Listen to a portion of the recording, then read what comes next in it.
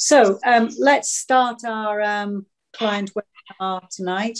Um, start by welcoming everyone who's joined us, all the horse uh, clients of the various CVS practices.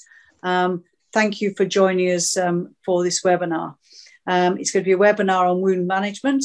And it's a bit of a historical moment for the Alnorthumbria Veterinary Group because it's our very first online client evening. They're usually um, in person, and it's quite a different kind of atmosphere, but it's uh, it certainly has been the way forwards during um, COVID lockdown times. And um, as you'll know, Patrick's very, very experienced in Zoom meetings, so he's going to be leading the show, which I'll introduce in a second.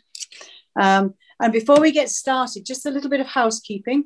Um, you probably know that we are running a quiz, and the quiz is going to be based on um, general facts about wounds and wound healing. Um, there's going to be 10 or 11 questions, um, and that's going to go on to the Alnorthumbria Veterinary Group Facebook page straight after this webinar, and it's going to be open for approximately an hour. And we, you fill in an email, you'll see how you do it, and we will then um, um, allocate the winning prize, which is a, a, first aid kit from the Alnorthumbria Veterinary Group and a bottle of fizz. Um, and um, we will let you know if you are the lucky winner, and we'll announce on Facebook who it was. Um, so don't forget to go to the Alnorthumbria Vet Facebook page for the quiz straight after this webinar. So let's, to, to get started, the topic, as you know, is wound management. And um, unfortunately, it is a common problem that as horse owners we will often face, and it's knowing um, what to do with small wounds, large wounds, when to call the vet, and also um, you know, to what is the best way of managing a wound going forwards. And for that, um, our main speaker tonight is from um, the Edinburgh Veterinary School, the Royal Dick School of Veterinary Studies. And Patrick Pollock heads up the surgical team and the equine hospital at the Dick Vet. He's a specialist in soft tissue surgery. Patrick has for many years been a very big support to the Alnorthumbria Equine Division, um, not only for surgical procedures, but also um, all hours of the night, talking about cases, looking at x rays, and is extremely helpful and a valuable uh, part of our team. So I'd like to introduce Patrick soon. And supporting Patrick, we have three of our vets from Alnorthumbria. We have Alice Barker, um, we have Nerea Carazo and Amy Smith. Alice graduated in 2018 from Liverpool, was an uh, intern in New Zealand, and then joined the Alnorthumbria Veterinary Group. Nerea um, qualified in 2017 from Saragossa in Spain. Did I say that right, um, Nerea? Um, and she then uh, did an internship in Ireland, uh, worked in Lincolnshire in practice, in equine practice, and then joined the Alnorthumbria Veterinary Group.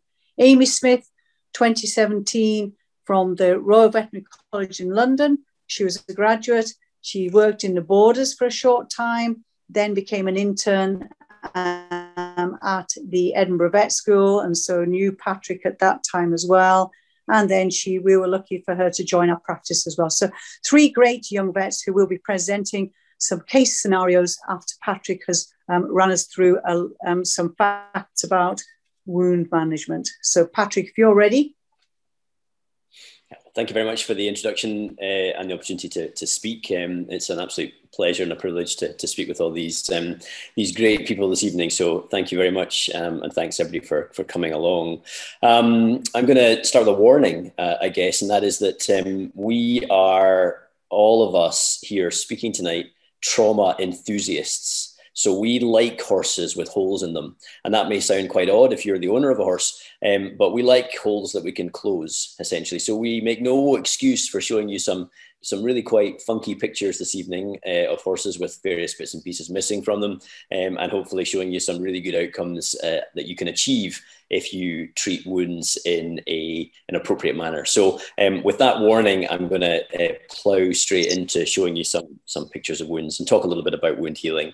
Um, obviously, Leslie's um, outlined the, the plan for um, how we'll deal with questions and things. There's a question box that you can scribble your questions into if you have questions as we go along, and, and Leslie will will answer some of those as as we go, and then we may take have time for some of them uh, as we go through the presentation and at the end. So please feel free to ask anything that you that you maybe uh, are curious about. So um, the first thing to say is that humans are really interested in wounds, and we have been for all of the time that our species has been on the planet.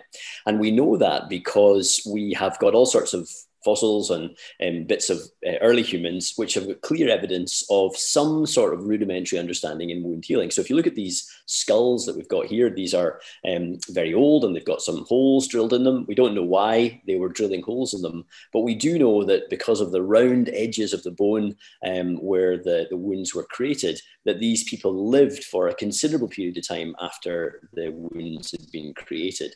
And so obviously early humans had a little bit of experience in how wounds heal. And um, there's some very recent uh, work being done in um, in some primates, and particularly in chimpanzees, which suggests that there are there's a genetic tendency to be interested in wound healing. So there are some chimps who choose to be very focused on wounds and they clean wounds and they lick wounds of their colleagues. Uh, and there are other uh, chimps who are very much repulsed by wounds. And so we know that that's probably the case in humans as well. So we are all the chimps who like to poke the wounds. Um, and uh, we're going to talk to you about, about what we like to do whenever we're, we're dealing with, with wounds.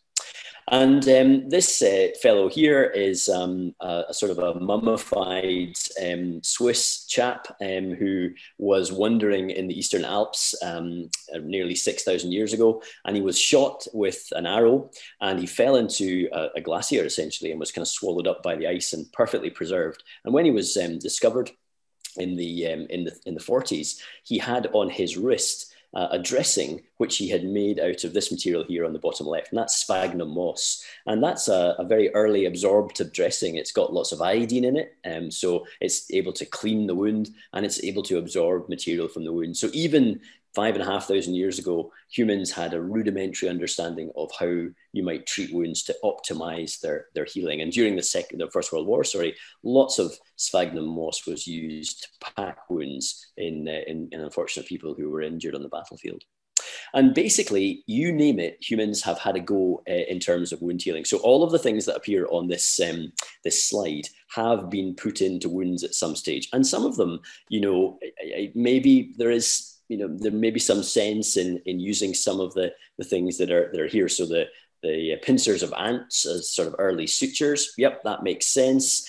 Um, tar a bit harder to understand why that's used. Beer and wine are better drunk uh, than put in wounds i would usually advise. Um, and powdered glass and, and uh, cinnamon no idea at all. But basically we've been putting things into wounds and trying to get them to heal for a long long period of time something that's really important to remember is that whether you are a, a, human or a hamster or a horse, your wound will heal in the same way. So all wounds go through a series of overlapping phases, and we're going to run through them very briefly in just a moment.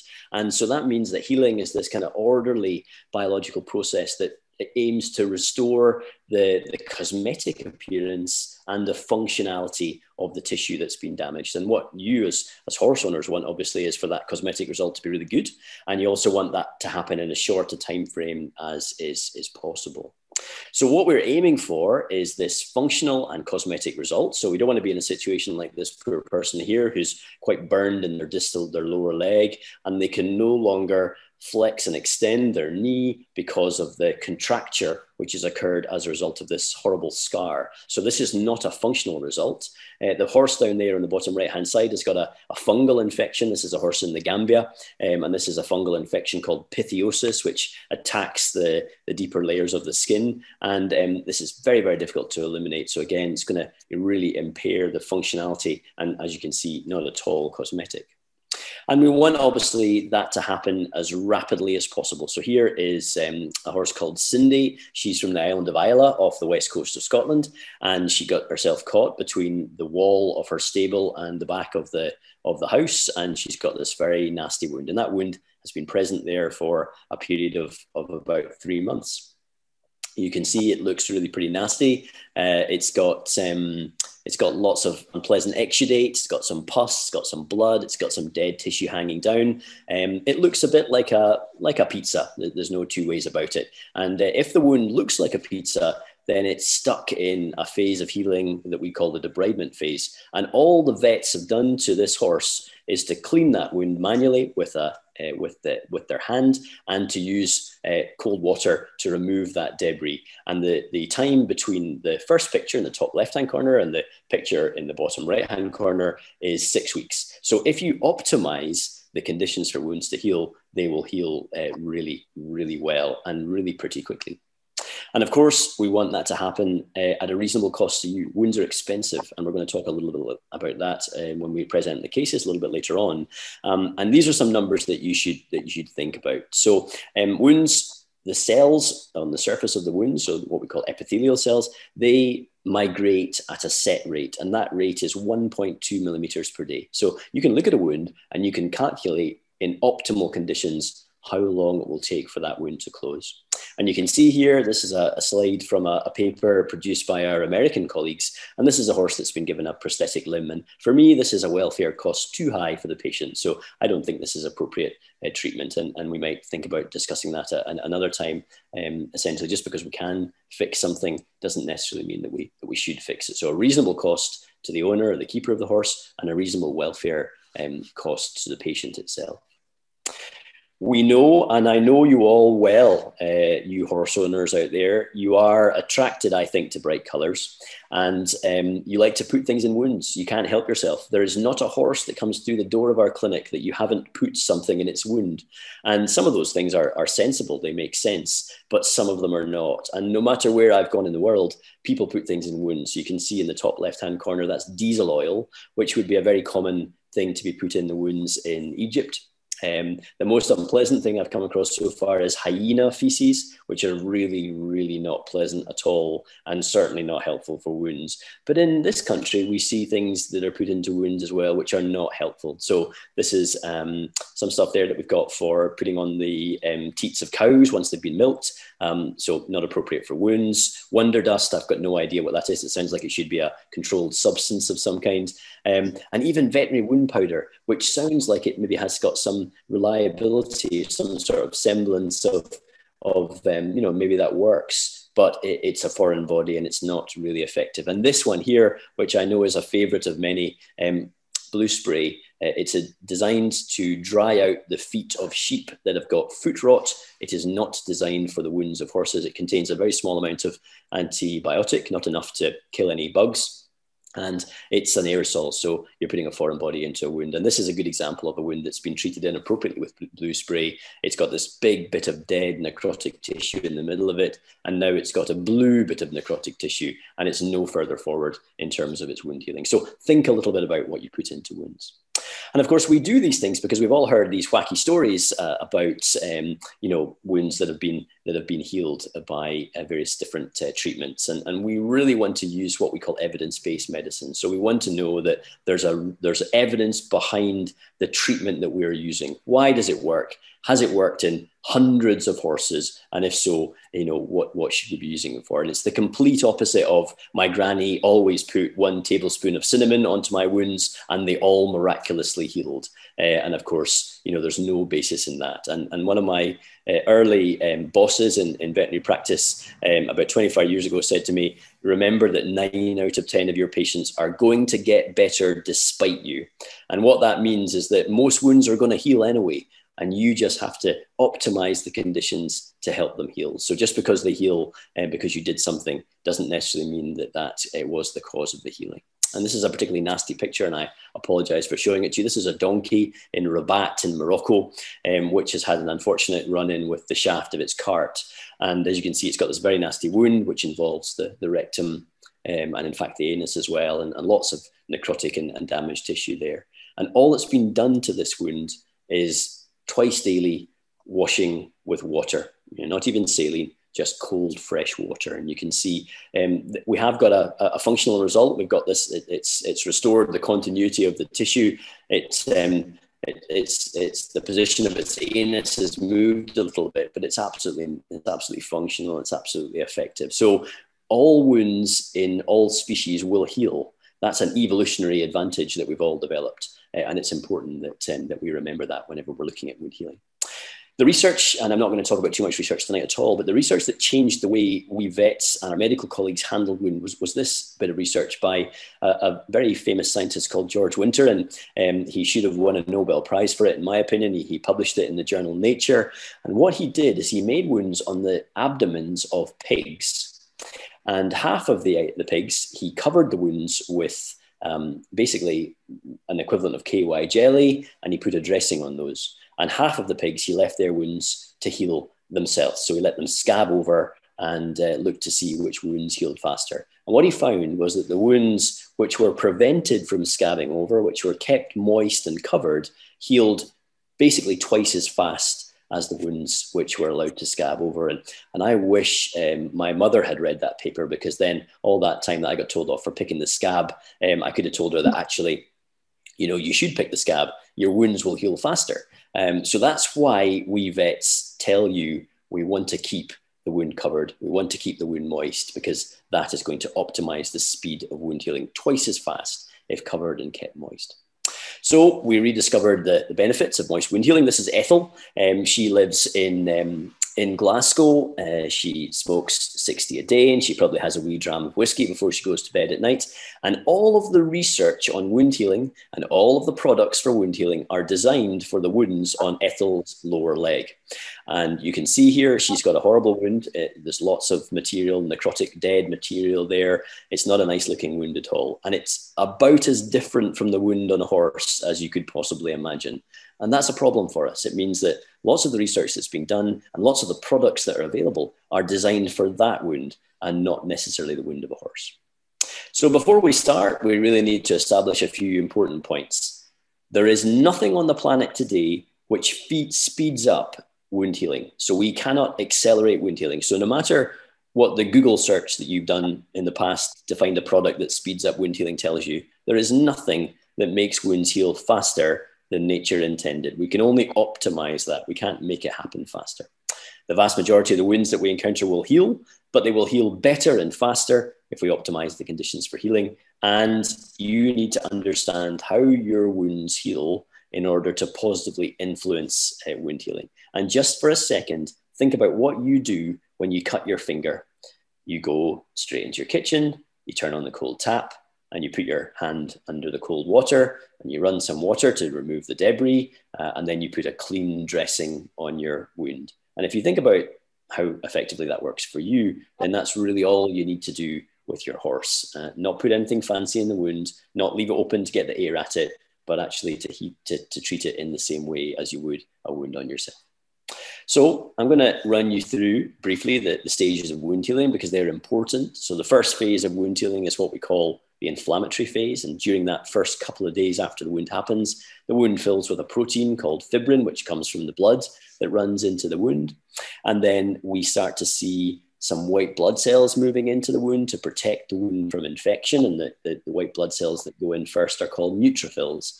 And in the horse, what we know is that there are fewer neutrophils. So that's why we start to see differences in the wound healing of horses compared to dogs or cats or humans, because there are fewer of these uh, white blood cells in the wounds of horses. And even looking at different types of horses, and I, I don't want to show you too many um, pictures uh, from under the microscope tonight, but these ones are interesting. The, the picture at the top is um, a picture stained of a, of a wound of a horse, a thoroughbred, in fact. And the picture on the bottom is the wound from a native breed pony, um, a Highland pony in this case.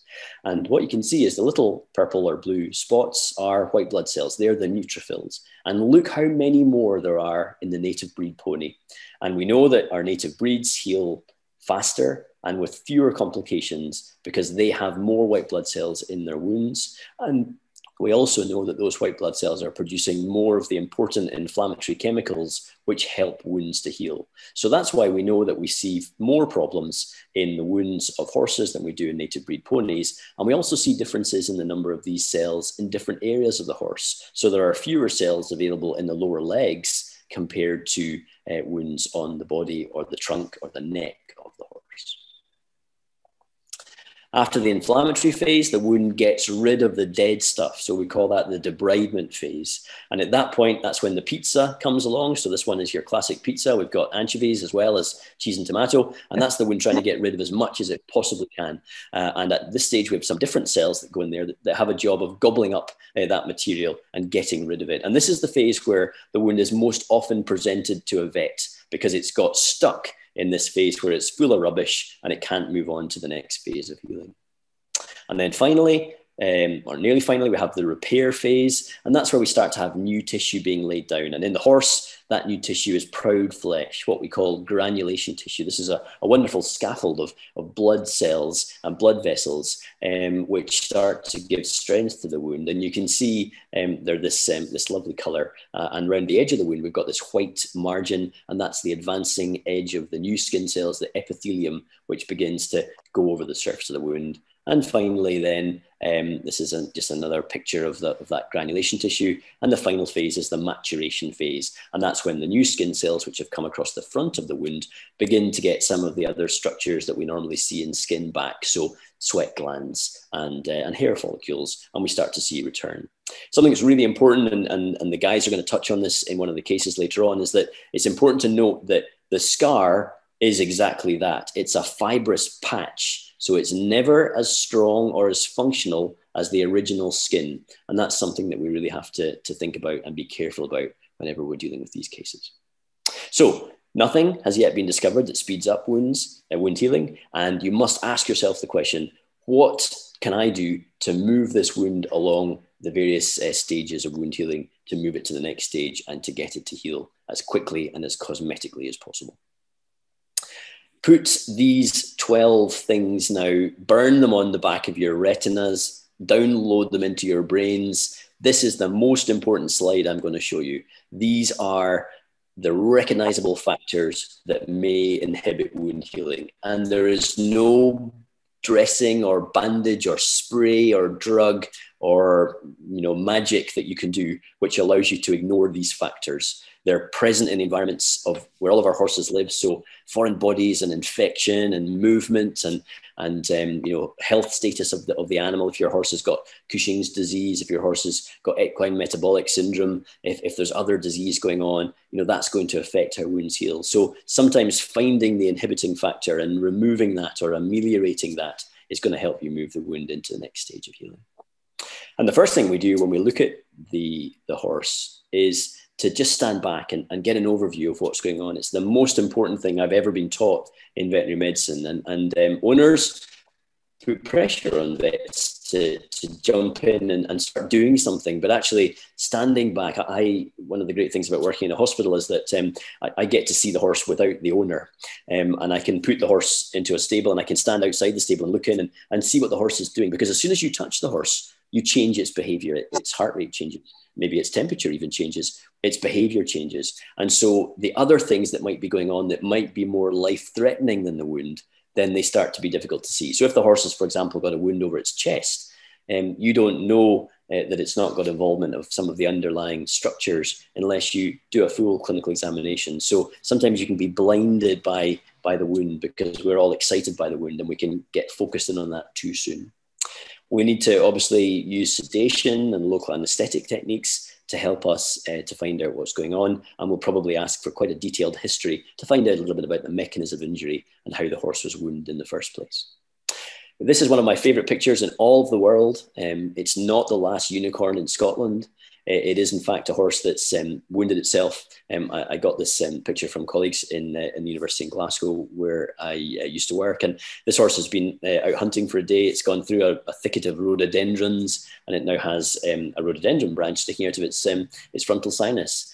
Um, and it looks awful. And, and you know you would be understandably upset if you had if this was your horse. But you can see straight away by standing back this horse was calling to its colleague, its friends in the other boxes in the holding area where it, where it came into the clinic. It's looking around it. It's moving its ears normally. Yes, it's got some blood coming out of its nose because it's got a bit of stick sticking into one of its sinuses, but you know you can tell fairly fairly quickly that this horse's life is not in danger. Uh, we can remove this stick, we can deal with the contamination in the sinus, and we're going to expect to have a, good outcome in this case. So the first bit of information that I'm going to want to impart to you today is do not panic.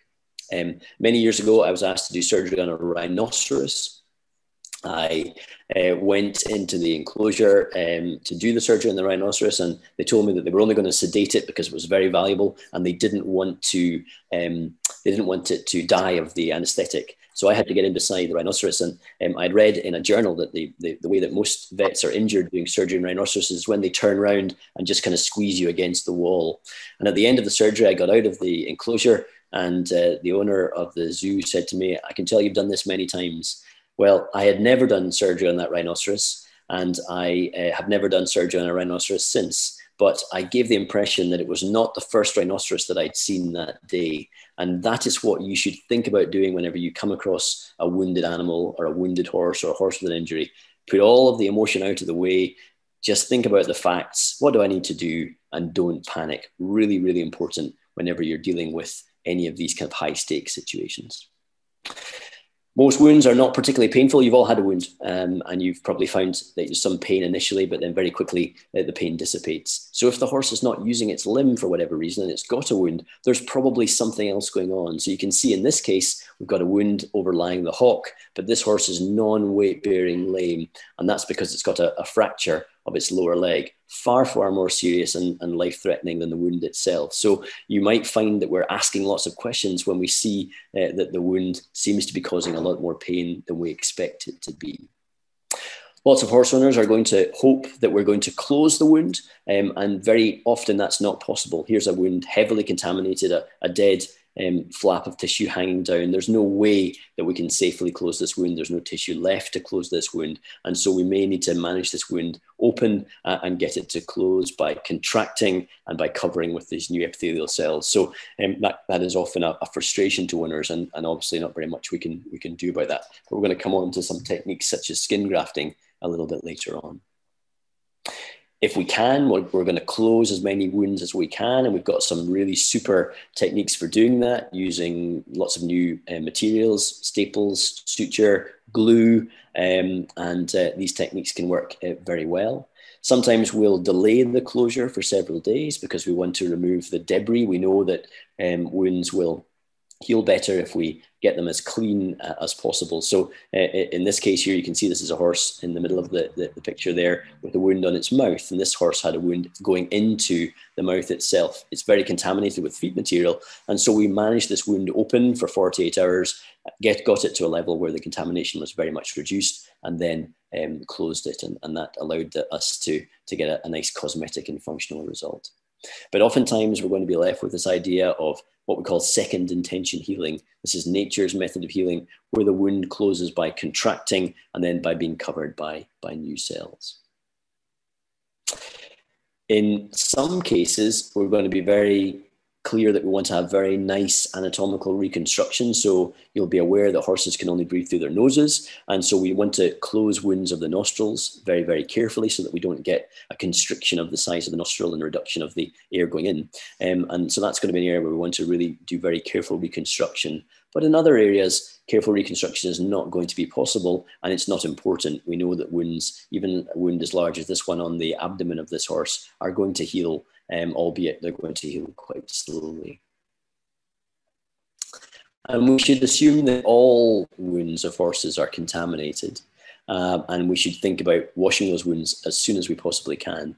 Saline is the best thing for washing wounds, but if you don't have saline, then water is a very close second. You don't want the water to be too cold, but if you only have cold water, then that'll be fine. What you don't really want to be using is any kind of antiseptics. So Hibiscrub and um, Povidone iodine, which you may have in your first aid kit, all very well for cleaning a bit of skin to do surgery on, but they do kill cells if they're used above these concentrations. So in our practice, we, we don't use these at all on the wound itself. Around the wound, okay, but not on the wound. That's really, really important. And you know, all equine establishments have a hose. It's a, a veterinary cliche, but dilution is the solution to pollution. Uh, and the, the, the, earlier you can do lavage, and I'll come back to that in just a moment, um, the We have some really fantastic new techniques for cleaning wounds, and, and this is something that uh, Northumbria have invested in and, and are using a lot. Um, I believe this is the VersaJet, which is a technique that gives us hydrosurgical lavage. So this is using a very big, very powerful vortex of water to actually clean away the surface of the wound. So it removes the, the bacteria, the dead tissue, um, all of the things which are going to inhibit healing. The, the, the contents of the wound that we call the bioburden. So basically the rubbish in the wound. And here it is being used on a, a wound noisy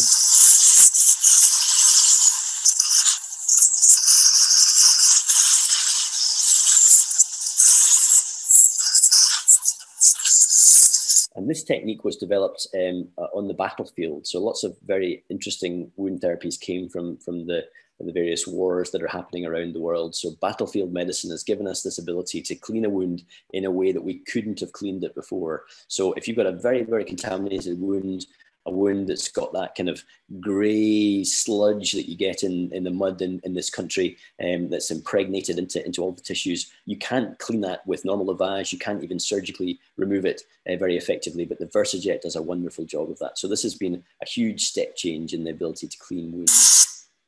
And here's an example of one that's been cleaned up. You can see um, this is a wound which is quite heavily contaminated. Um, when it's uh, turned around here, you'll see uh, look at that horrible grey um, look on the inside of that wound, not very nice at all. Um, and uh, after the wound has been cleaned up and the, the tendon's been sutured back together, you can see it makes a beautiful job of cleaning up that wound uh, in a way that we just could never achieve uh, by using other techniques. Oops. Uh, and this uh, wound has been closed. You can see here uh, the horse has been placed into, into a cast um, and is moving along there um, very nicely in the, in the cast, as you can see. And here's the wound on the right hand side uh, closed. So, um, you know, 10 years ago, we wouldn't have closed that wound, we would have allowed it to heal by second intention. But now, because we can clean these wounds in a much more effective way, we can close them and get a, a functional and a cosmetic result much more quickly. But you don't need a, a, fancy lavage machine. You can go down to the local garden centre. You can buy yourself for £20 um, one of these sprayers for putting weed killer on your garden, and you can use that to clean up the wound. And you can see here, um, this is just a garden sprayer being used. Um, so, um, and I'm sure your local veterinary practice will sell you a little bag of salt at just the right um, uh, weight, and you can fill that up to a, a level on your um, on your garden sprayer, and that will give you some saline that you can use to clean the wound. And you can be doing this before you even get veterinary intervention. So phone the vet, tell them you've got a wound that needs to be seen, and then you can go back and start cleaning the wound. And that's really effective. And if you look at this wonderful paper here that was performed in humans, and um, basically what this says is that for every hour sooner that you wash a wound, you half the risk of wound infection. So the sooner you start cleaning that wound, the better. It also stops you putting things in the wound. If you're cleaning the wound, you can't be applying some sort of unpleasant material to it. So wash the wounds, really, really important. It's the single most important thing that you can do. We're also very interested in where wounds are. So wounds that look really dramatic, like this one over the lateral, over the side of this horse's shoulder, looks really, really pretty scary. And I think if this was your horse, you'd be pretty worried. But contrast that with the wound on the the horse on the right hand side, you probably can hardly see where this wound is. So let me give you an arrow, uh, a small wound over the elbow. This wound overlying a joint is much, much potential or potentially much, much more serious. And as you can see here, this is wound has been closed up, looks, looks pretty nice, nice job. Whereas this one here, we're putting some sterile fluid into the elbow joint and look here with the arrow, we're getting water coming out of the wound. So we know the joint's involved. And this horse is now needing to go for a, a, an operation to have that joint lavage. So you will see vets becoming much more concerned about small wounds overlying a joint or a tendon sheath than they might be uh, or, or over large wounds. Sorry. Movement is the next thing we're going to be really worried about. You can see here we've got this uh, wound here, um, which is um, on the lower leg of the horse. And uh, as we flex and extend this horse's lower leg, look at this great area of proud flesh, which is stuck onto one of the tendons and it's moving up and down through the wound. And you can imagine that the, the new skin cells, they're just never going to migrate over the surface of that wound um, because of all that movement. So we have lots of techniques which we use to, to get rid of movement. Uh, I'm going to cover these very briefly because the, the team are going to cover them in, in much more detail uh, very shortly. But here's a, a, wound on the, on the heel bulb, um, which has been popped into a, into a cast and um, this is the wound uh, at, uh, cast removal at two weeks. So you can really get a, a fantastic result if you can reduce the, the risk of movement. Another example of that, a wound over the back of this horse's hock. Um, this is a, a, horse from the, the, west coast of Scotland, a, a Reading stables horse. Um, this horse was put into a, into a cast as well. And you can see here um, the wound had been present for um, about nine months before uh, the horse was treated um, by, by the vet team. And you can see here, with only 13 days in the cast, um, we've got a wound which is now contracted and fully granulated. So you can just see how, how sort of debilitating the movement really can, can be. And uh, this wound was also grafted and, and, uh, and, and, came out with a very nice result. Uh, another wound where movement is a big issue on the front of the hock. Um, and you can see here we would be concerned about involvement of the hock. And what we've done in this case is that we've got this horse into a very nice big dressing uh, and we've closed the wound.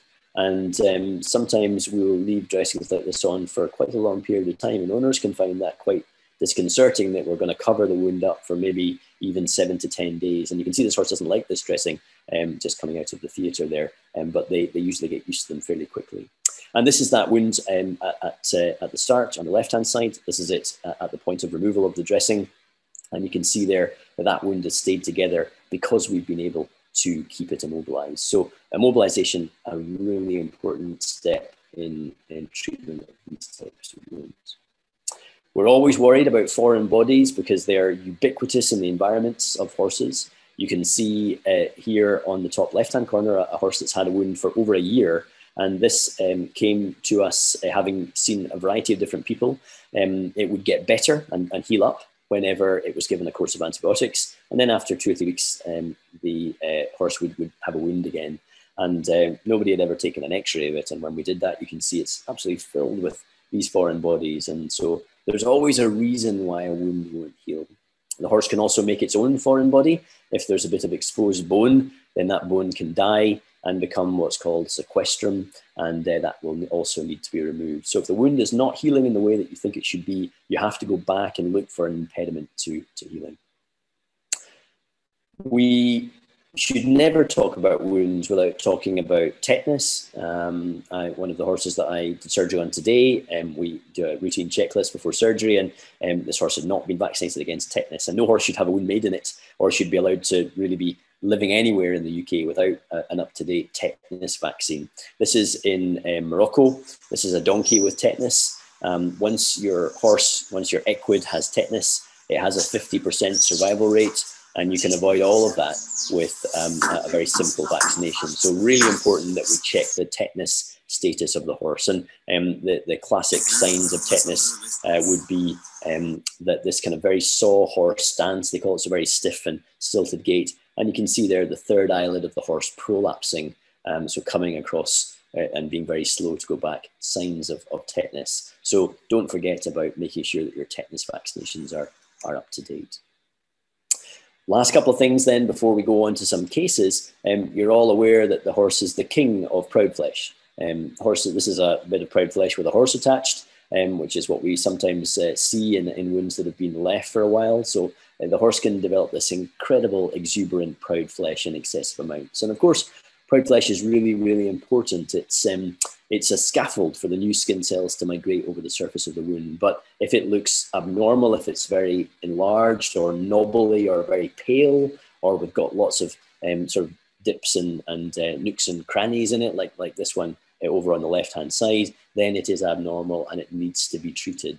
So, what we're looking for is very healthy um, proud flesh or granulation tissue, and it should be salmon pink. And I, I don't mean Peely Wally farmed salmon, I mean wild Alaskan salmon pink. So a beautiful um, pink color, and it should have a white margin around the outside of it. That's the epithelial cells, which are waiting to migrate over the surface of the wound. So that's how the, how the proud flesh um, should look. And we should be very kind to the proud flesh because we know it's very important. So we should be supporting its development if we possibly can.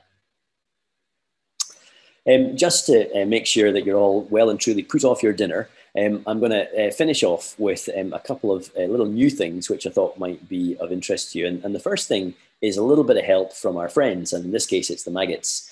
And um, maggots were used a lot in the in the past Um, you can see here Napoleon surgeon uh, reported during the campaign in Syria that he noticed that certain species of fly seemed to be very effective in dealing with um, the wounds on, on injured soldiers. And during the American Civil War and World War One, um, there was it was very clear that wounds would, would heal um, a little bit um, a little bit better if there were maggots in them because the maggots would remove the, the dead tissue. I'm not sure that smoking a cigar during surgery, like this guy in the, the top right hand corner, is, is advisable. Um, but anyway, I guess it was, uh, it was different times. How do maggots work then? Well, they secrete enzymes um, out of, they, they essentially uh, um, regurgitate enzymes into the wound that dissolve the protein and the dead tissue, and they only go after dead tissue. Uh, so they won't take away healthy, live, new tissue. They only take away the dead tissue. And in doing that, they also um, directly take in then bacteria which are living in the wound and they release chemicals which are have antibiotic effects as well and they change the environment of the wound so they help to um, make it a bit more acidic and they make uh, it uh, more oxygen available in the surface of the wound. And uh, special uh, species of maggots are used in order to, to be able to, um, to, to, do this effectively. Now, um, they are used in human surgery a huge amount. And in human surgery, the two major complaints about the use of maggots, and I apologize for telling you this, are that they make a lot of noise and that they go missing. So you can imagine the situation. You're lying in a hospital bed. They come along with 50 maggots. They put them into your wound. They come back uh, the following Tuesday, and they can only find 37. And uh, you know that's you know pretty alarming. If you're a human, where have those other maggots gone? Well, actually, where they've usually gone is that they've usually been eaten by their colleagues. Um, but you know that doesn't stop Mrs. McDonald worrying about whether there's a maggot somewhere loose in her bed. So the way around that was to put maggots into a tea bag essentially. And I apologise for for the, the next picture. It's quite unpleasant. Um, but basically, the maggots are able to um, excrete their enzymes and absorb the, the products through the, the, the holes in the tea bag.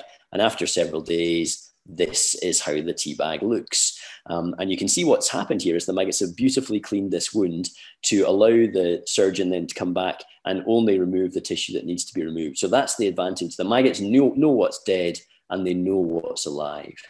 Now, in veterinary medicine, of course, we're less worried about using maggots in a tea bag. They're much more expensive in a tea bag. So we tend to get them free range. They come from a company in Wales. Um, and you can get them guaranteed next day delivery on prescription. So you phone up and you, you order them by the hundred. They come in a little jar and um, you put them into the wound, and they just do a remarkable job of, of cleaning things up. And, and here's um, this is this is how they look close up with these sort of horrible mouth parts that they've got. But they're wonderful for a sloughy wound, uh, wounds on the foot. Uh, they work really really well. Infections that are resistant to antibiotics, and in areas where there's you know just a wound that's been been present for a long time, producing a lot of dead a lot of dead tissue. Here's a great example of one you can see here uh, where maggots were used. And this is a, a poor horse which um, had a chronic uh, penetration of its sole. You can see that's me putting fluid into the coffin joint. And when we put the fluid into the coffin joint, it sprays out of the sole of the horse. And, and that's obviously a huge problem. And my worry here was that I, I knew there was lots of dead tissue in there, but I was worried about going up with my instrument and damaging the coffin joint. And if you, if you look at this x-ray here, uh, you can see that there's a huge area of bone missing um, here because it's been sort of damaged by the infectious um, infectious process. So what we did in this case is we put some maggots uh, onto the sole, and you can see them here, um, and there they are all just writhing about, having a wonderful time, um, and they're removing all of that necrotic uh, tissue and uh, allowing you to be much more, you know, they're much more discerning about what's dead and what's alive. Uh, and um, this horse um, made a, an absolutely fantastic recovery, as you can see. So I'm very grateful to the Malcolms for letting me use this um, use this this picture. So the foot of the horse ideally suited to um, to to maggot therapy, and, and maggots are actually this is a, a, a case from Northumbria uh, where maggots were used, and and uh, one of um, Ed's cases, and and you can see them there in this very big defect. Um, you know, and look at the tissue underneath; it's beautifully healthy and pink uh, and the maggots will do that really fantastically, fantastically well. And maggots are, are better than, than vet students for, for three main reasons. They work day and night and you don't have to feed them. And when you're finished with them, you can kill them.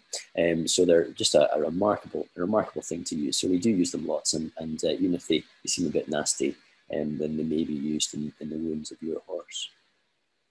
The final thing that's new, which I think is really exciting, is uh, something else from the battlefield, and that's negative pressure.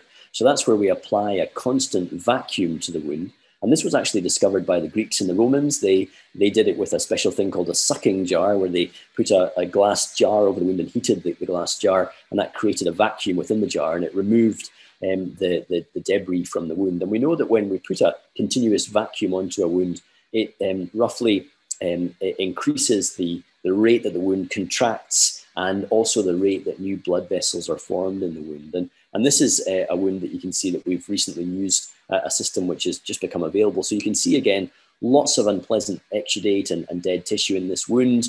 Um, we use this special um, bit of foam dressing that goes into the wound and then we actually uh, use a, a hair dryer, sorry for the noise, um, to stick the dressing uh, to the horse's wound. So that's stuck over the, the top of the wound like this. And then what we do is we turn on the, the vacuum. So I'll just show this vacuum being turned on. So the vacuum goes on and you can see it sucking down uh, over the, the, wound and really pulling itself right down into the wound. And this is a, a negative pressure of, of 250 millimeters of mercury. So quite a high pressure. And you can see the little, little kit and the horse wears it um, on a little surcingle uh, around its uh, abdomen. And we leave this in place for about 72 hours. And you can see the effect it has on the wound. Um, that's the material that's been sucked out of the wound in a 24 hour period. And look how wonderfully healthy that tissue is. So, what I'm really getting at is there are some wonderful new innovations um, that are available now maggots, the VersaJet, hydrosurgical lavage, and now vacuum therapy, which are all helping us to create wounds which are, are healthier and heal faster and with less complication. So, in summary, questions to ask when you're faced with a wound in front of you what stage of wound healing it is and, and what steps are needed to move the wound into the next stage. Are any of the impediments to healing present? So, is there lots of movement? Is it a wound over a joint? Is the wound near a structure which needs extra help, like a joint or a tendon sheath? Is it contaminated? Well, almost certainly if it's a horse. How old is the wound? Has it been there for a while or, or is it a very acute wound? And is there anything else wrong with the horse? So, is there damage to an important structure like the, the chest or the abdomen underneath. And really getting the horse sedated, washing the wound with clean water, and applying a bandage is all the first aid that you need to do until the veterinary surgeon uh, arrives. And so um, that's uh, I'll, I'll stop there, and we can um, move on to some some really interesting cases.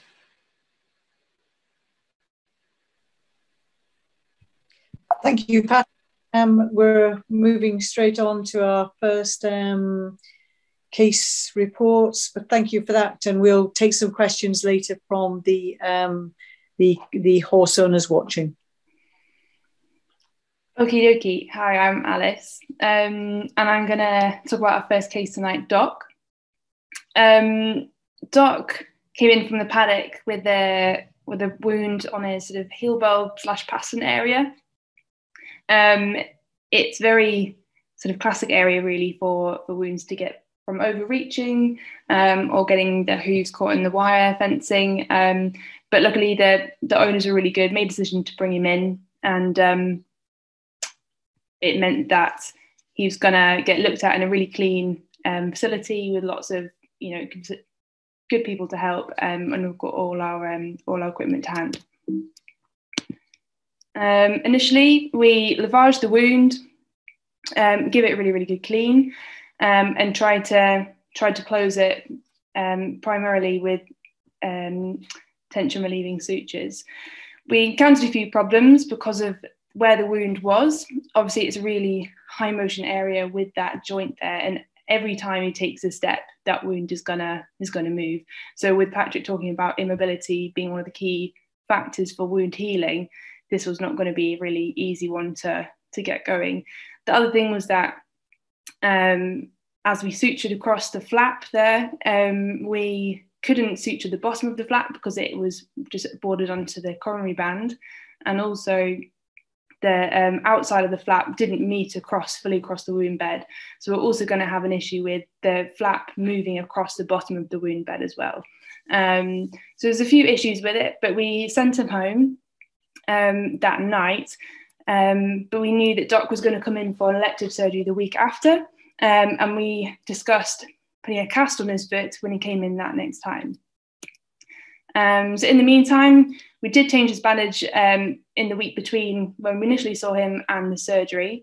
Um, and as you can see, some of the sutures are broken down due to the movement. That skin flap was not um, sticking down onto the wound bed at all, um, and just wasn't granulating down properly. Um, and so, despite you know a really clean wound and it was brought straight in, just, wasn't doing that well because of all those inhibiting healing factors that we mentioned before. So Doc came back in, and um, when he was in the clinic, we put a cast on his foot, and it went around the whole foot up to the mid pastern. This was um, done here. Um, it's a really quick and easy thing to do, and we can do it. He was under GA, so we did it under GA, but it can also be done standing under sedation too. Um, and he was sent home due to have it removed in two weeks' time. The benefits of casting, as I was saying before, is immobility. Um, it means that that joint isn't going to be moving anywhere near as much. Um, and it's really comfy for him to walk around in, and it just keeps that wound super immobile. Um, the other thing is that the owner doesn't have to do really frequent bandage changes, um, and it can keep a lot of costs down um, associated with that. So I think, I mean, in the two week period where he would be normally having banner changes every three to four days, um, with each banner costing approximately sort of 70 pounds in banner material, that's over sort of 200, 250 pounds um, saved where you don't have to sort of spend any of that money bandage material and you just have a cast on the whole time. Um, and he's really comfortable walking around the stable um, at home with that cast on.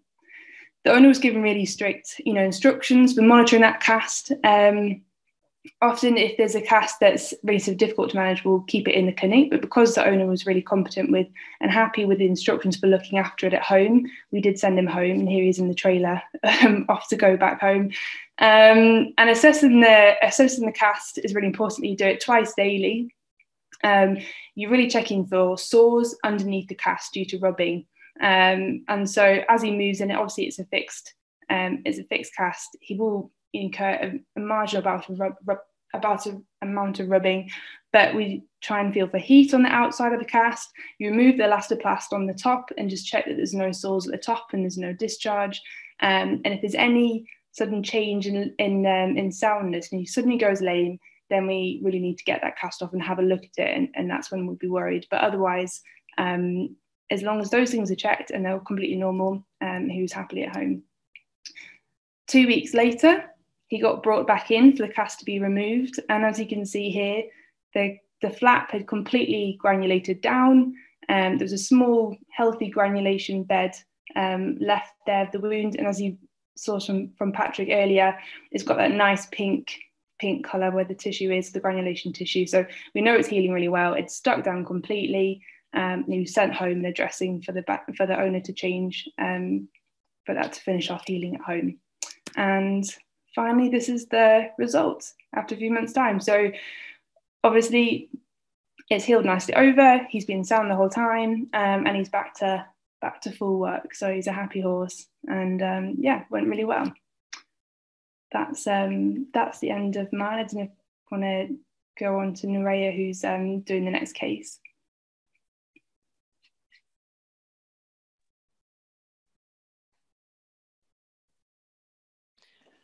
So just uh, while Rhea's just uh, getting her case uh, shared, just a, a, wee reminder: if you if you got questions, uh, do use the question function, um, which is on, on your dashboard at the bottom. You'll see their Q and A, and you can type your question in, and we'll we'll either answer as we go along or answer at the end. So don't be shy.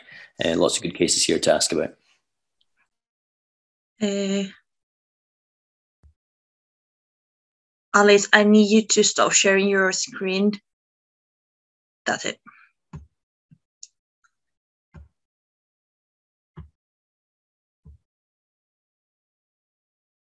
Okay, so we have the second case. Um, this handsome chap was called Chester. Um, it was the initial presentation. Ooh. Um, the fresh wound, the owner found it straight away after happening. He had a bit of confrontation with a gate um, and he obviously didn't win. Um, they rushed into the clinic. some problems that we had with these wounds or some concerns like a really high motion area and the stifle. We have some bone exposure, massive dead space, which means that it's a massive gap between the edges. And then because the place it was, we had some concerns about possible joint involvement, possible fracture because he was quite sore due to the trauma. We didn't know the amount of tissue damage that we could have potentially, and we didn't even know if he was gonna uh, we're gonna manage to stitch it up due to the big space that we had. Um, initially, the investigation was focused in knowing if there was any joint involvement.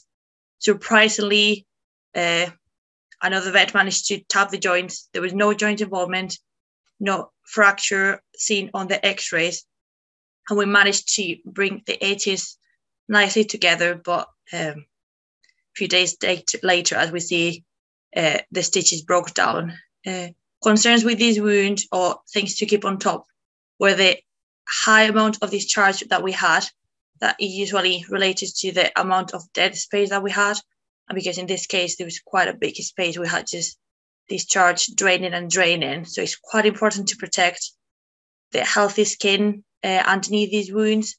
And we just can't do it with simply applying some a thin layer of vaseline to protect the skin from burning um, and also we had a big amount of movement because just in the stifle we couldn't bandage or we couldn't put up cast to try to mobilize it so everything lead to suture breakdown, uh, as we can see in this last picture. After a week of putting the stitches on, um, the wound just had to be left to heal by second intention, as Patrick has mentioned before.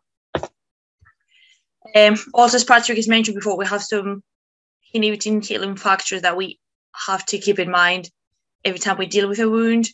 And in this case, would be the dead space, massive gap uh, that we had all the movement and the necrotic tissue and contamination that we had in this wound because it was just left open. Uh, and he, Patrick said we had the pizza in this granulation tissue, so we need to do something about it. Because we want to promote healthy granulation tissue, um, what we did was manage pretty much the inhibiting healing factors. So one of them was the movement, which we tried to reduce as much as possible, keeping the horse and box rest. The contamination, as we can see in this first picture before the debridement, we had that pizza with tomato and cheese. Uh, and then after the debrided and making clean, we have a really nice, healthy granulation tissue. We can see that it has some clefts and it's not as flat as we would like to be. But this is just because all the movement that we had and keeping the wound clean is pretty much owners and vets work. The owner could, was cold hosing this wound one twice a daily, just trying to keep on top of all the contamination. And then we were just sending pictures, checking when it needed to be aggressively debrided just to keep on top of it. This wound was done in summertime, so flies were quite a big of problem but we kind of managed to get them under control with summer fly cream. And again, we needed to promote to protect the healthy skin around it just with some Vaseline. And also these wounds, these big wounds left to heal by second intention, they need loads of patience because they're gonna take take a bit of time. And what we need to expect when we have a big wound that is just left to heal by second intention, the main thing is just gonna take time uh, we need to be patient. They can be quite frustrated because, like in this case, we were so happy with Chester's progression in 12 weeks. Um, we had a really nice granulation tissue. Um, epithelium was starting to contract, and he was starting to go out for a bit of hand grazing and five minutes turnout in a really small paddock, like stable size. And the owners, two weeks after, turned around for a second, came back and he broke down the wound again, and we have a freshly new wound that we tried to stitch up together, but Chester decided that he had enough the first day, and we didn't manage to go near with a needle again into that leg. Also, these wounds can be really stressing because we don't know if our horse is going to be sound after all this time. Uh, we don't know what's the damage into the structures. Uh, we don't know how the scar tissue is going to affect those structures. So it's a bit of walking into the unknown after months and months of box rest. Um, I said we'll have to most of the cases to promote wound healing we'll have to release movement, which means that our horse will have to be on box rest. And also, once the horse is back to work or even during uh, recovery, we'll need to do loads of rehab because the horse has just been sitting in the box for months or weeks. And we do know also what kind of damage we have in underlying structures. So it might need a bit of help as well. Also, we need to remember that vets and owners, we have to work as a team, uh, which is here to help you. Uh, if you have any concerns about the wound, we're always on the phone or pretty much when we're working. Sometimes we're off as well. Um, but if we don't answer one day, we'll just check our phone the following day and we'll just have a look and decide if that wound needs further attention or we can be a bit of support as well. If you look at these wounds every day, you might not see a difference and then therefore you can get a bit frustrated. So taking pictures once a week or a couple times a week. And then when you're getting like, oh, we're not going anywhere or we're not changing at all, go back to the picture you took a week ago and you'll probably notice that actually that wound is getting smaller and we're getting somewhere slowly, but it's changing. Um, lots of people concerns is that the horse can't box rest. Uh, what can I do? Um, as Patrick's told me more than once, all horses can box rest. Um, we just need to put the effort on it. We just need to be patient and stay strong because putting a horse in box rest at the initial stages can mean that that healing process is much is going to be much shorter. And if we get bored and we just chuck the horse out, expecting it to be well behaved, it might not be, and we kind of have a catastrophic breakdown, or it can be really hard to get. We'll go back to square one after all the effort. To help our horse to be on box rest, we can just keep try to keep them busy, give them licks, swingers, treat balls, just keep them entertained. We'll just have to be careful with the sugar on these treats. Probably local would be better. Uh, feed them frequently with a small hay net so they can they have to put a bit of effort in eating and it'll keep them busy for longer.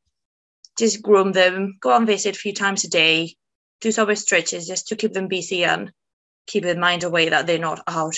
Um, also with horse and box rest, uh, we have to be very careful with diet because obviously the horse is not going to be moving around, so it's not going to be using as many calories as he would do on full work. So we'll have to be careful with giving calories that they don't need and energy that they don't need. And also horse and box rest are much more prone to impaction colic, you probably all know. So we just need to make sure that they get enough water and fiber. So sloppy feeds they usually make the trick. Because the horse is just going to be sitting in the stable, so muscle loss is expected.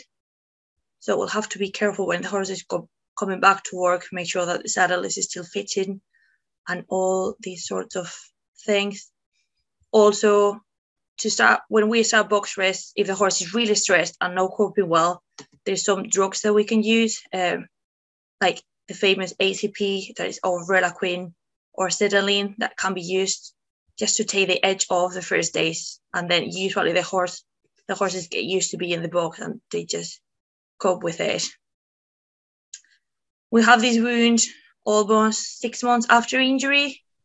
Um, uh, we have a healthy granulation tissue, uh, really nice um, pink edges that is contracting. And at this point, we have the wound almost healed. So we kind of start hand grazing our horses. Just be careful that we make it in a safe way because obviously the horse has been stuck in the box for a while, so they'll be rushing to go out. Uh, we kind of started turning him out, turning them out into small paddock initially, probably box size, and just increase the time and the space is slowly uh, so they don't go ballistic and running around the field and breaking down the wound that we've been working for months. for these initial turnouts, we can use ACP as well. So the horse is not as excited of about going out. Rehab is very important at this point because the horse has been in the box without using any muscles or pretty much any of the muscles. So physiotherapy, stretches, do loads of groundwork because we before we jump into doing read and exercise, just trying to build up all that muscle that was lost again. Uh, and then once we start riding, we'll probably just walk start to start with, and then just build them up really slowly to monitor that the horse is sound.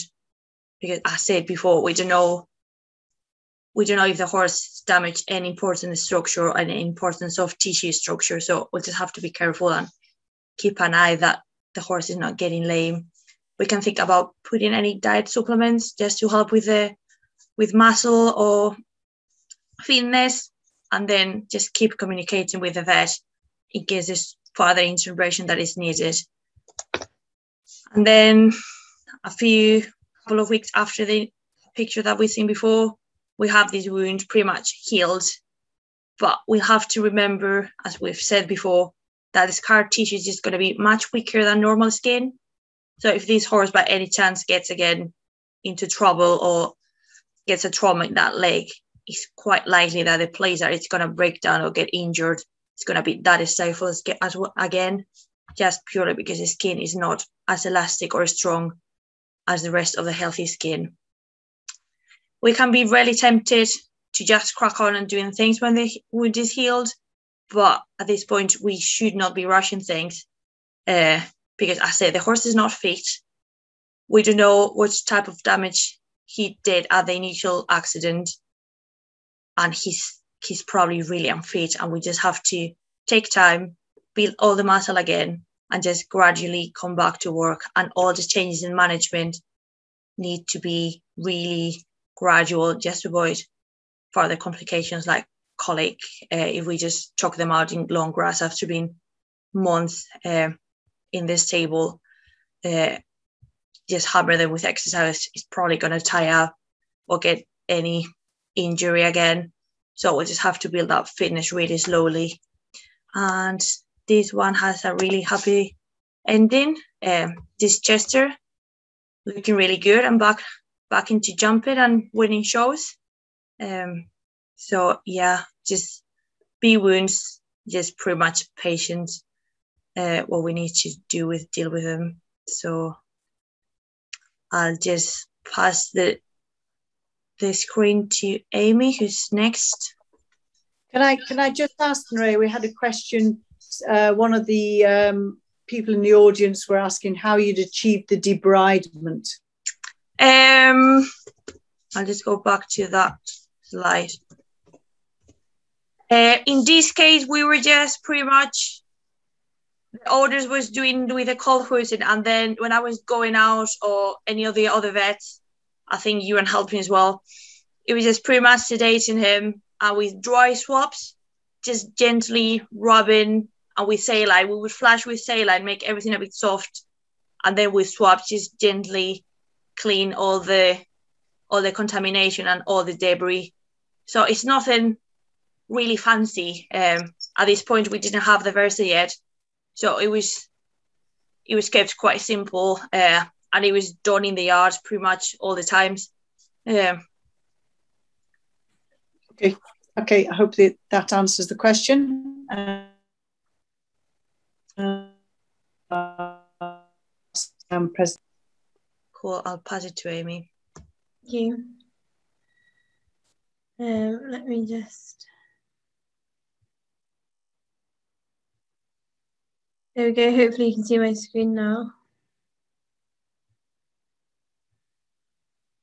Um, so my presentation is um, about Clancy, who is a 17-year-old ex-race horse um, who had an unfortunate incident with this part of a brick wall um, when coming in from the field.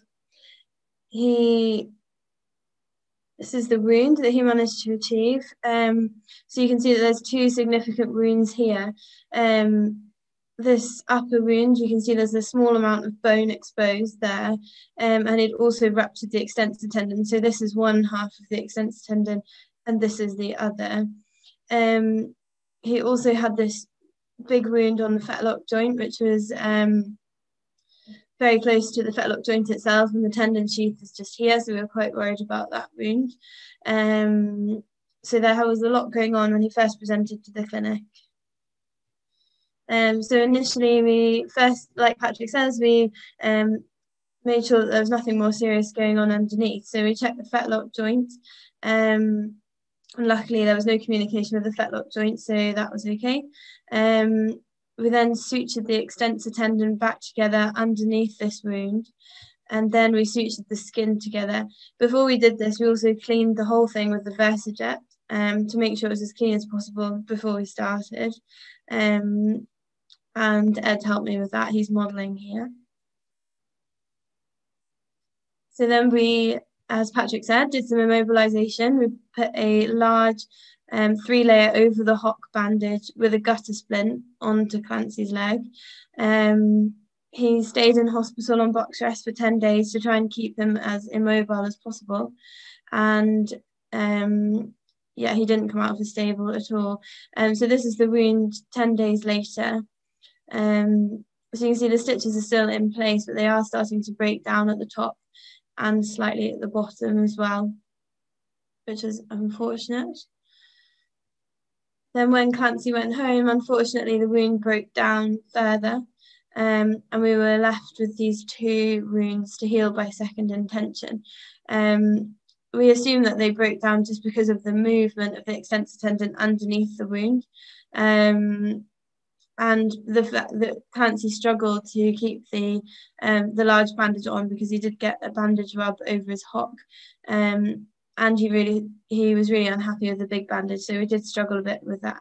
Um, he also had um, oh no, we're coming on to that in a minute. So then he had a couple of complications. Um, when he was at home. So part of the exposed bone that I showed you at the beginning um, lost its blood supply and died off. So we had to remove that a couple of weeks after he went home. And then the wound became infected. So you can see here, this wound is um, really exuberant and really dirty. Um, and yeah, another classic um, pizza. So we debrided this wound um, with dry swabs and we put some antibiotics um, into some hydrogel and put it straight onto the wound under the bandage to try and reduce that infection. So we changed the wound every four to five days and the wound started to shrink down. You can see here and here that there is some change there. Um, the main complication at this stage with Clancy was his um, bandage rub. So because this wound is on his distal limb, um, the bandage rubs across the back of the of the tendons there um, and around the fetlock as well were quite difficult to manage. So we had to do um, some modification on the bandage to manage these. Um, and then as soon as this, the wound started to look a bit healthier, we discussed skin grafting. So what we did was we took um, little bits of skin from his neck here. Um, we took small punch biopsies and then we made some little holes in the wound and we implanted them into the wound. Um, so Clancy was sedated for this procedure. It took about an hour um, and he was very good. The neck wounds healed very quickly within about two weeks, and not all of the grafts took in his leg, but about five of them took. Um, so this picture is two weeks after grafting, and you can just about see these little grafts starting to take, and you can see that the wound is healing. Unfortunately, there's only happened, we only grafted it three weeks ago, so we don't have a picture of the wound fully healed. Um, but it's certainly looking a lot better than it was. Um, so that was mine. So it was a little bit quick. Um, but yeah, now I think we're ready for questions. Um, so I'll stop sharing my screen. And then Leslie, do you want to take over for questions? Yeah, I have a here that um, perhaps Patrick would um, answer for a Jan Grant. She had a Highland stallion who's now aged five. As a weanling, had a huge cut to the front of the hock, fist-sized hole. The wound eventually healed, but now has a horny growth like a hoof protruding from the front of the hock, which grows larger every time the coat changes. It's been surgically removed once, but grew back following the following spring.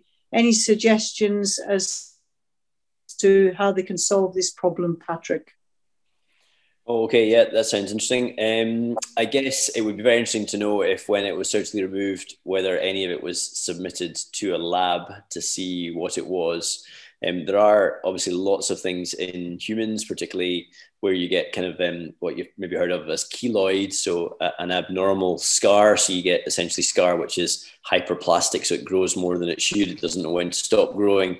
In horses, we also see um, I guess, a variety of types of sarcoid, um, which can look, which can be firm and, and horny looking at times as well. So I, I, would certainly want to get a sample of that tissue sent away, and um, I suspect you would you would then get an answer as to what you were dealing with, and then you would know a little bit better as to how to deal with it. If you were removing it, um, and it turns out to be some sort of an abnormal growth, so I, I, I'd hesitate to use the word cancerous growth, but certainly a neoplasm, so abnormal tissue growing out of control um, then you might be looking at, at skin grafting whenever you, you take it away because you want to get to make a big margin so that you um, are, you know, stop, stop, stop from coming back again.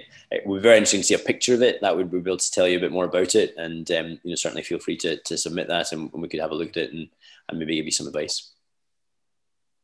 Hopefully that helps. Um, and Lou Purvis has a question. I can just find that. Um, how long do you need to leave the maggots in a wound to do their job? Yeah, not very long. So, um, generally speaking, they, they feed for about 72 hours maximum. Um, and then they're sort of big and fat and they don't do any more after that. So, usually, if you think you need maggots for longer than that, then you would go back and, and get a few more maggots um, from the from the company BioMonde, they're called um, and uh, they, they would they would send send a few more to you. Uh, one of the things about maggots is you've got you've got to really look after them. You know, they, you can't just sort of throw them in and, and ignore them. Um, you've got to bandage the wound very carefully because you can asphyxiate them, um, and they're expensive. They're about a pound a maggot, so it's going to be um, essentially about a, about a hundred pounds to to treat the maggots. You know, just for the maggots alone, and then the dressings and things you need over the top. And the other thing is they hate to be exposed. So when you're checking the wound, you just have a quick peek and they all sort of shoot off. Um, and so you don't want them to sort of leave the wound. So you just look very quickly and then get your dressing um, back down again. Actually, I recently read this amazing paper about maggot therapy, um, which suggested that the maggots are actually communicating with each other in the wound um, through sort of um, sort of high pitched noises, which is fantastic because they're, they come from whales. So basically, the maggots are singing to each other in the wound. Isn't that fab? Anyway, there you go. Just an aside. And and um, there's also leech therapy, isn't there, Patrick? Use of leeches. Uh, yeah, hirudotherapy. Um, so all sorts of little um, creatures that we use in wounds. So leeches are are particularly good for wounds where there's been some sort of a a constriction to the blood flow, and that might be because there's been an encircling injury. So something like a you know fencing wire that gets caught around a leg, and you get that you know the you know the tissue goes a kind of a horrible purple color and it's cold, or if you've got a flap of tissue.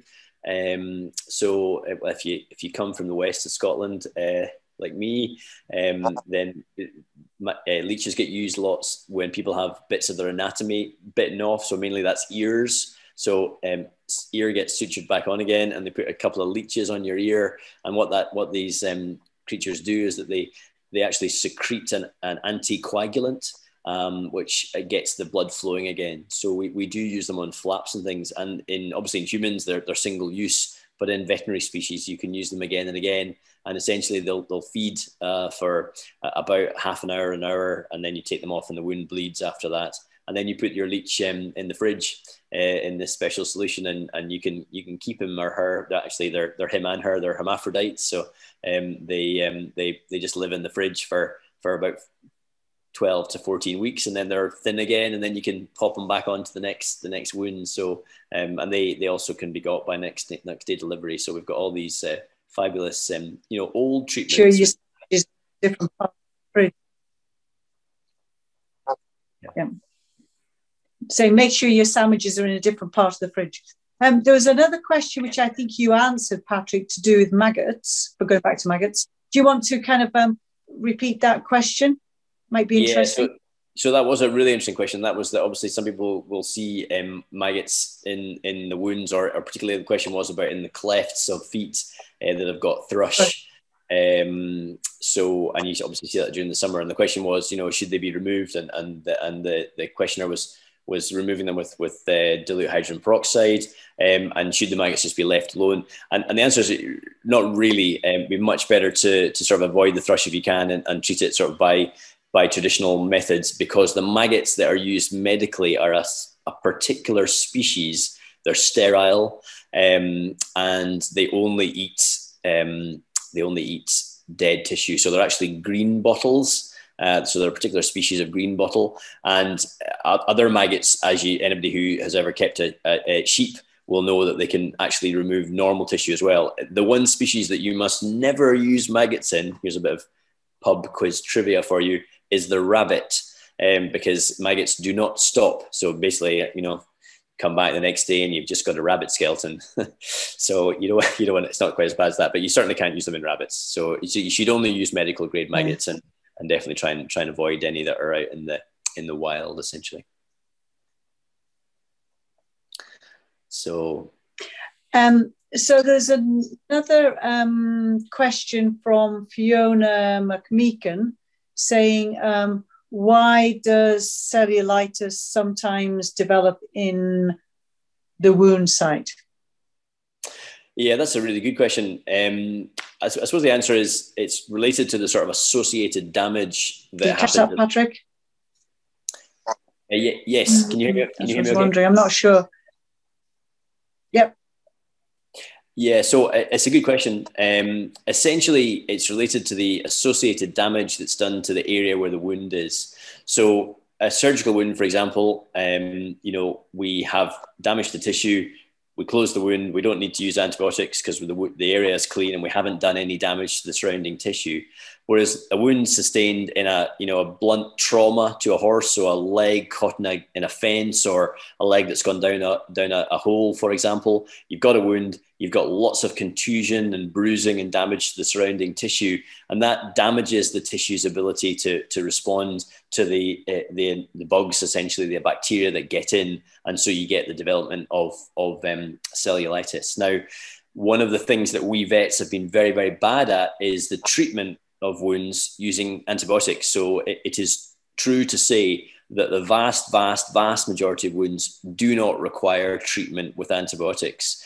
And actually, treating horses with antibiotics given into a vein actually rarely gets concentrations that are appropriate of antibiotic at the wound. So it's much better to use a different delivery technique for these horses that have got cellulitis. And that might be using something called regional perfusion, where we put on a tourniquet around the, the limb and we put the antibiotics directly into the area where the wound is, or we use some kind of a dressing which gives us antimicrobial effects. And we might use something like honey, or we might use a, a, silver dressing, or we might put antimicrobials directly into a joint or a tendon sheath.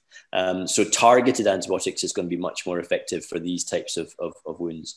But you know, just to come back again to you know the one thing that you can do when you have that wound on the first day, you know, the first thing you do is go for your hose and remove that bio burden, all the the rubbish that's in the wound, and that's going to reduce your chances of, of getting things like uh, like cellulitis. And I suppose occasionally, you know, it's also going to be affected by by the bacteria that get in in the first place. A really good question.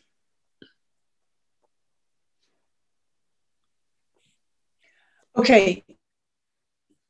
Thanks, Patrick. Um, I don't see any more questions coming up except saying, oh, Jan Grant, Jan Grant saying, um, not techy enough to send a photograph. I'm sure I can encourage her, is the answer. Great. I look forward to that. That sounds really interesting. I'm, I'm going to chase that one up. But here one, there's something else coming up. Um, you just mentioned silver dressings. There are so many different products claiming they have silver. Is there a ratio of silver that's required? And that's a very good answer, I think, a question. Yeah, that is a really interesting question. Um, so the answer is that you should definitely only be using um, uh, an approved silver dressing. So not a silver spray or any kind of a cream that claims mm. to have silver in it. What you want is is um, non-colloidal silver. So it's it's to do with how the silver is is present in the surface of the dressing. Um, in humans, um, anybody who's a who's a, a, a, a healthcare worker will be aware that dressings are actually medical products. So they are subject to the same sort of licensing as a, as a pharmaceutical, as a drug. That's not the case in veterinary medicine. You can technically apply anything to the wound of an animal um, if you're not a veterinary surgeon. So an owner can put anything they like in a wound. And that's why so many things are sold, which in fact have absolutely no, um, you know, uh, no efficacy at all. And in fact, the manufacturers, if they say something along the lines of contains up to 1% silver, And that doesn't mean it actually has to contain 1% silver. It could contain 0.5% or 0.1%. So I would very much uh, advise that if you're thinking about using these kind of things, it's very much done under veterinary guidance. Um, you know, there's a there's a right time to use these various products and there's a time when they're detrimental. The best example of that is honey, which is an absolutely wonderful treatment for wounds. But if you use it on wounds with healthy proud flesh, then actually it, it, it slows down the rate of healing. So it's very important that you're applying these things at the at the right time. And you know, just because it says it's got silver in it, it doesn't mean that in fact it has it in the right uh, form or the right concentration. Okay, thank you. So I think unless we have more questions, which I don't see any just now, um, I'd like to just say a massive thank you to our speakers, to Patrick um, uh, for his very clear and um, graphic presentation of some very interesting, I think, new techniques that are out there uh, for wound healing. Um, and I have to say, I'm really proud of our young vets. They did a great job. So well done, um, ladies. Uh, exactly. Yeah, thumbs up. That was great. Um, thank you to CVS Lou Purvis for allowing us to hold this webinar. Um, I think it's been a, a great thing to do. Um, and thank you to Barbara Buglas out of our practice for her hard work in getting this set up um, in the first place. Um, so thanks. And thank you to you guys out there that are watching. Um, we always need our participants. unfortunately, we can't kind of share a beer together after this one tonight, but I'm sure there'll come a time when we can do that again. I see one more question coming up. Ah, thank you. That's very good. so that was a thank you note. That's very good. Okay, so so just to to close the meeting with with a great thanks to all our speakers um, and all the uh, the people out there watching.